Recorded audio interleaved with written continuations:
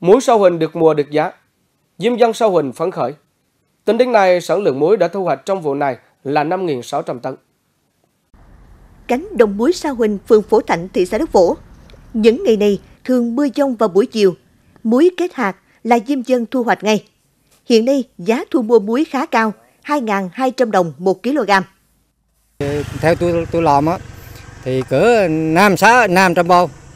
Và cái giá Cái gió thì ờ, mấy ờ, một tháng trước gì trước á, thì gió 70, bây giờ hiện tại bây giờ là từ tháng 6 ờ, tháng ờ, 8 dương dương lịch đây là gió ờ, 150 kg muối sạch.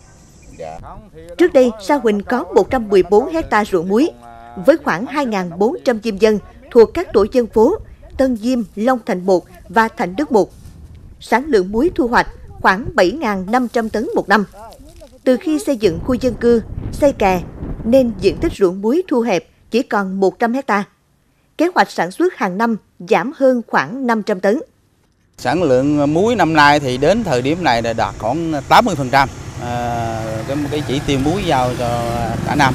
Thì à, về cái giá muối thì năm nay cái giá muối rất là ổn định, bà con rất là phấn khởi. Giá muối thì tầm khoảng 800 đến 1.000 đồng một ký. Thì đối với cái giá muối như thế thì, thì bà con rất là, là, là phấn khởi.